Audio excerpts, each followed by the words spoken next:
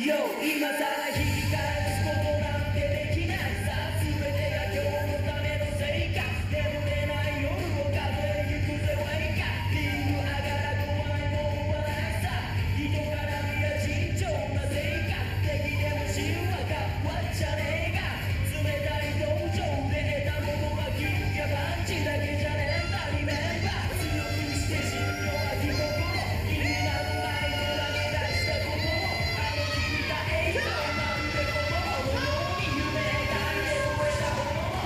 を Yoshihiro Sato, K1 World Match Japan Tournament Champion in 06 and 07, makes his way to centering a K1 match record of 11 and 6 for the man from Nagoya.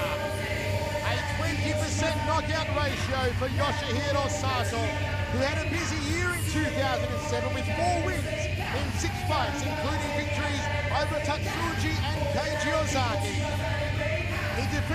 Defeated of Turkey in April to make it here tonight in the final eight. And now, in the trilogy, Sato will try and finally defeat his arch nemesis Buakaw. There is nothing like a bit of Muay Thai on Muay Thai action.